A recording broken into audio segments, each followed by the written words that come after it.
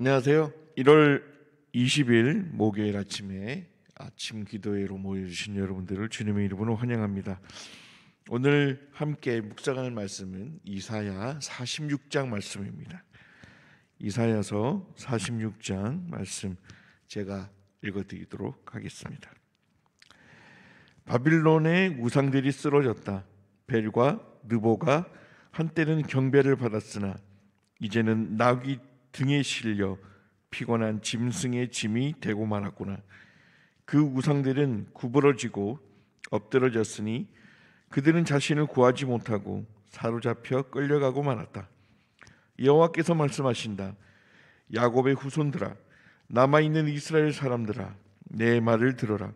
나는 너희를 창조하였고 너희가 태어날 때부터 너희를 보살펴 왔다. 나는 너희가 늙어 백발이 될 때까지 너희 하나님이 되어 너희를 보살필 것이다. 내가 너희를 만들었으니 너희를 돌보고 보살필 것이며 너희를 도와주고 구해 주겠다.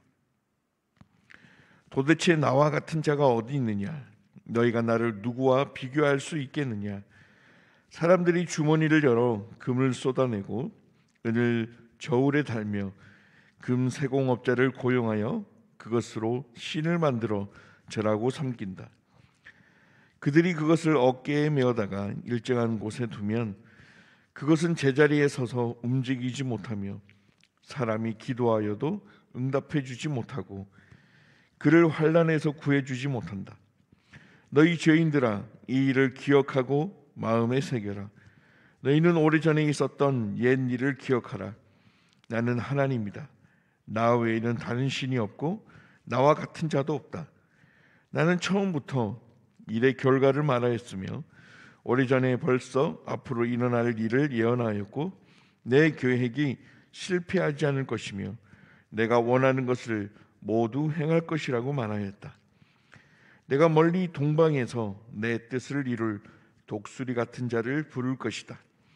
내가 말하고 계획한 것이니 분명히 이루고 말 것이다. 의에서 멀리 떠난 악하고 고집스러운 사람들아 내 말을 들어라. 나의 의로운 구원이 가까웠으니 머지않다. 내가 지체하지 않고 시온의 구원을 베풀어 이스라엘의 내 영광을 나타낼 것이다. 아멘. 예, 오늘은 이사야 46장 어, 말씀을 함께 묵상할 텐데요. 이 46장 말씀은 어, 바벨론의 에, 멸망을 예언하는 예고하는 에, 그런 장면이기도 합니다. 1절 말씀에 바벨론의 우상이 쓰러졌다라고 그렇게 시작을 하면서 베일과 느보라는 이름이 나옵니다. 이 베일이라는 것은 어, 주인, 소유자, 뭐 이런 이제 뜻을 가진 바벨론의 최고의 신인 어, 말뚝을 별칭하는 말이라고 합니다. 그리고 느보라는 말도 이 어, 신의 이름인데요. 이 말뚝, 그러니까 바벨론의 최고의 신인 말뚝의 아들이라고 합니다. 그러니까 우리가 조금 이제 들어봤던 느부갓네살 왕 이름 안에도 이 단어가 들어가는데요. 그걸 보면 이 바벨론 왕가의 수호신이라고 이렇게 어, 해석을 하시는 분들도 있습니다. 어, 여러분들 그 다니엘과 새 친구들에 대한 이야기를 많이 들어보셨고 아실 겁니다. 다니엘과 그리고 우리가 알고 있는 그 새 친구의 이름. 다니엘은 히브리식 이름이고요. 그리고 우리가 알고 있는 그 다니엘의 세 명의 친구 이름은 히브리식 이름도 나오지만 히브리식 이름은 어, 한번 언급을 하고 그 다음에 우리가 알고 있는 그 이름은 히브리식이 아니라 바로 바벨론식의 이름입니다. 그러니까 저희 나라로 치면 어, 일제 강점기 시대에 창시 개명 후에 어, 일본식 이름으로 바뀌어졌던 그 상황으로 생각을 하시면 될 것 같습니다. 그러니까 다니엘은 어, 이 이름이 벨드 사살이라는 이름으로 바뀌었어요. 이 벨드사살이라는 이름은 어떤 이름의 뜻이냐면 바로 어, 벨이라는 이 바벨론 최고의 신 벨이 보호한다라는 뜻이라고 그래요. 그리고 세 친구 중에 어, 우리가 이제 그 바벨론식의 이름으로 알고 있는 아벤느고라는 친구가 있습니다. 히브리식의 이름의 이름은 아사랴라는 친구인데요. 이 아벤느고라는 이름으로 그러니까 바뀐 이 친구는 이 아벤느고라는 뜻은 바로 이 벨의 아들이었던 느보 신, 느보 신의 종이라는 뜻이라고 그래요. 그러니까 이 바벨론 민족에게 그만큼 영향력을 끼쳤던 신인 거죠. 이 벨과 느보라는 어, 이 신인데 이 그렇게 큰 영향력을 끼쳤던 신이 우상 신이 별 힘을 못 받고 쓰러지게 되고 그리고 하찮은 존재로 어, 그렇게 전락하게 될 것이다라는 내용으로 시작을 합니다.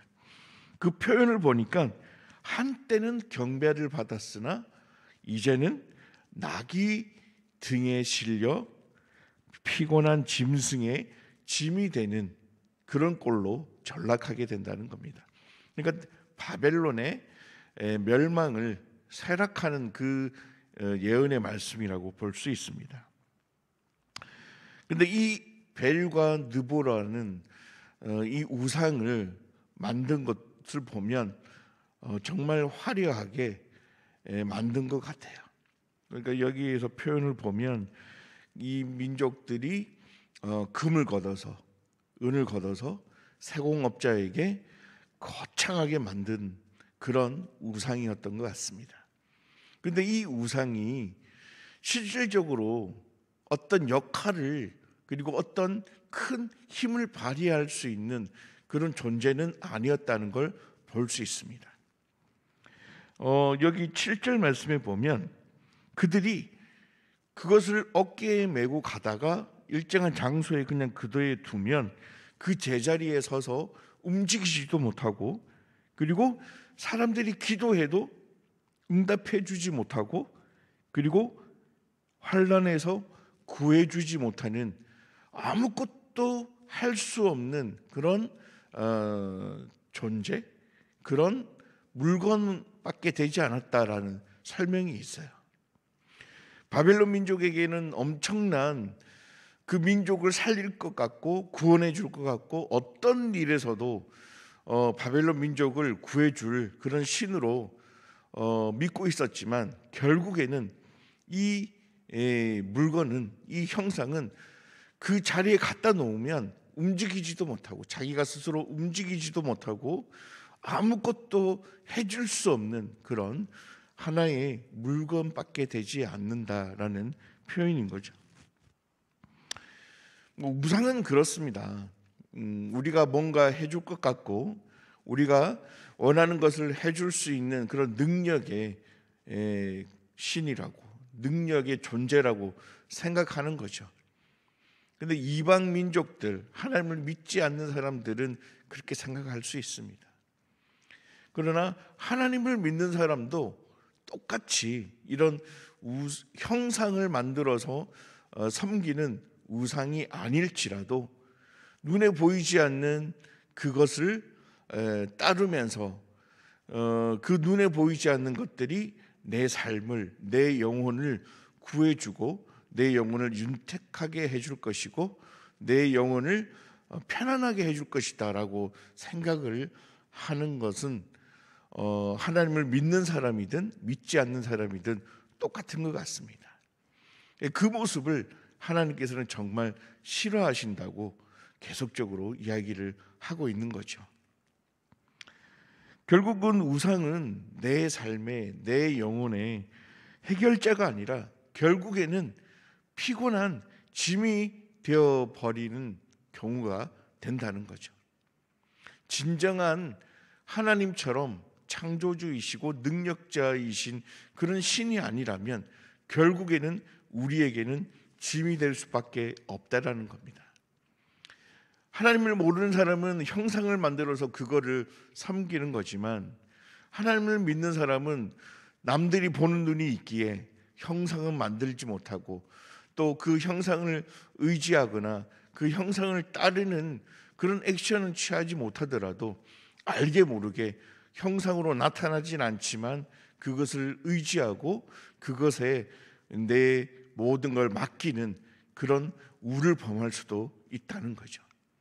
그게 눈에 보이지 않는 어떤 지나친 에, 교육열이라든지 아니면 어, 부정직한 그런 모습으로 비정상적인 그런 재테크라든지 아니면 지나친 스펙을 어, 지향하는 그런 모습들 뭐 여러 가지 모습들이 보여질 수 있지만 사람들의 눈에는 잘 띄지 않고 어, 내 마음 속은 아, 이것이 있어야 내 삶이 그리고 내 영혼이 그리고 내 이후에 자녀들의 삶이 편안하고 그리고 평 음, 윤택해질 것이다. 나를 보호해 줄 것이다. 라고 생각을 해서 거기에 집중하는 것 같습니다. 근데 그것이 마치 그거 내 모든 걸 해결해 주고 나의 부족한 것을 보완해 주고 그리고 어, 어려운 문제를 해결해 줄 것 같지만 막상 그 어려움에 부딪혔을 때 내가 지향했던 그것들이 결국에는 나를 더 힘들게 한다는 거죠. 정말 내가 뭔가를 더 가지고 내가 뭔가를 더 이루어내는 그리고 내가 조금 더 열심을 내어서 뭔가를 남겼을 때 그것이 내 삶을 더 한 단계 업그레이드 시켜 줄 것 같았는데 시간이 지나면 오히려 그것 때문에 내 자신이 더 피폐해지고 내 자신이 더 초라해지는 그런 경우가 생겨버린 거죠. 그렇게 되면서 내 삶의 환경이 조금 더 나아지는 것이 아니라 조금 더 낭망스럽고 황망스럽고 그리고 지쳐버리고 그리고 내 삶의 그런 즐거움을 느끼지 못하는 그런 지경까지 가게 되는 거죠. 그러면서 하나님을 믿는데 어떻게 이럴 수 있느냐? 하나님이 살아계시다면 어떻게 이럴 수 있느냐?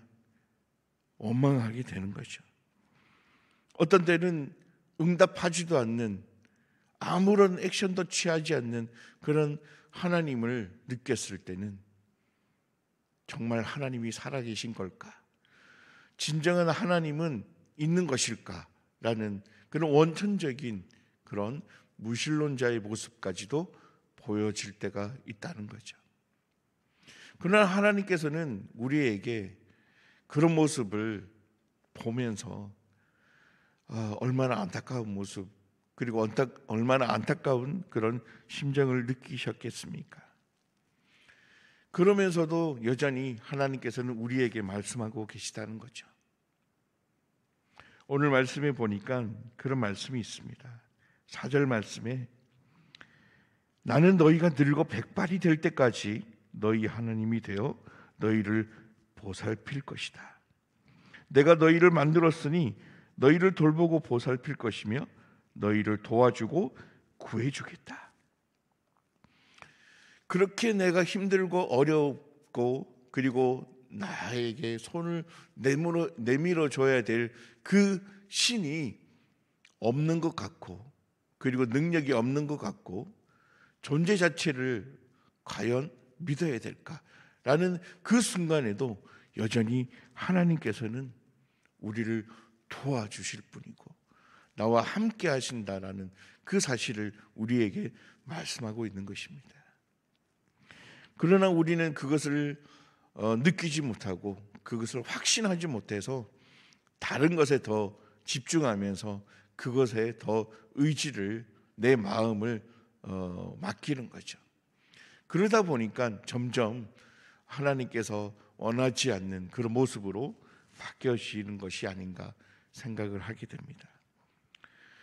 어제까지만 해도 아니 바로 직전까지만 해도 내 마음은 여전히 나와 함께 해주시고 그리고 나를 어, 이끌어 주실 그 하나님이 유일하신 능력자이시고 창조주이시고 그리고 내가 늙어 백발이 될 때까지 나와 함께 하시면서 나를 도와주실 그런 어, 하나님이 계시다는 사실을 망각하고 지내는 경우가 많다는 거죠. 하나님을 모르는 사람이 우상을 만들어서 거기다가 뭔가 액션을 취하고 그 마음을 뺏기는 것 그것만이 우상 숭배가 아니라 내 마음이 내 심령이 하나님이 있는데도 불구하고 하나님께서 내가 늙어 백발이 될 때까지 함께 하면서 도와줄 것이다. 구해 줄 것이다 라는 그 말씀을 믿는 그 모습으로 살지 못하는 것이 바로 그것이 우상숭배가 아닐까 생각을 해보게 됩니다. 오늘도 아마 그런 상황에 놓이게 될지도 모르겠습니다. 그러나 우리가 그런 상황에 놓일지라도 어, 하나님께서 안 계셔서 능력이 없어서 그런 상황에 놓인 것이 아니라 누구도 그런 상황에 놓이게 될 것이고 또 그런 상황이 놓이는 것이 어쩌면 어쩌면 하나님의 임재 가운데 하나님의 계획하신 가운데 있는 어, 플랜일 수도 있을 것입니다. 그건 아무도 모르는 거죠. 그러나 딱 한 가지 정확한 사실은 하나님께서 부모 같은 심정으로 자녀인 우리를 결코 포기하지 아니하시고 끝까지 우리와 함께 해주시고 우리를 구해 주신다는 그 약속의 말씀은 하나님께서는 절대 잊지 않으시고 그리고 그 약속을 지켜 주신다는 사실입니다. 오늘 하루 저와 여러분들은 이 사실을 어, 잊지 않고 어, 여전히 나와 함께 해주시고 그리고 나를 도와주시고 그리고 나와 함께 그 발걸음 한 걸음 한 걸음 함께하고 계시다는 그 사실을 잊지 않는 오늘 하루가 되셨으면 좋겠습니다. 함께 기도하실 때 하나님 오늘도 끝까지 나를 책임져 주시고 나와 함께 해 주시고 그리고 나를 구해 주시겠다는 그 약속하신 능력의 하나님께서 오늘도 저와 함께 해 주심을 느낄 수 있고 그리고 깨달을 수 있고 체험할 수 있는 하루가 되기를 원합니다. 라는 기도로 오늘 하루를 시작했으면 좋겠습니다. 제가 기도하고 마무리하도록 하겠습니다. 사랑의 하나님 은혜를 감사합니다. 내 마음 속에 하나님보다 더 나를 안락하게, 편안하게, 그리고 나, 내가 부딪혀 있는 그런 문제들을 해결해 줄 수 있는 것들이 있음을 착각하고 거기에 마음을 뺏기는 경우가 많았음을 고백합니다. 이 세상에 많은 그런 우상들은 점점 시간이 지나면 지날수록 내 문제를 해결해 주는 것이 아니라 나의 짐으로 전락해 버릴 수밖에 없다는 그 사실을 잊지 않고 그 어느 누구도 할 수 없는 것들을 하나님께서는 해 주실 것이고 또 그 약속을 지켜 주실 것이라는 사실을 명심하고 오늘 하루도 하나님과 동행하는 삶을 살아가기를 소망합니다. 그런 하루를 마음껏 누릴 수 있는 우리가 되기를 간절히 소망하며 감사하며 예수님의 이름으로 기도드렸습니다.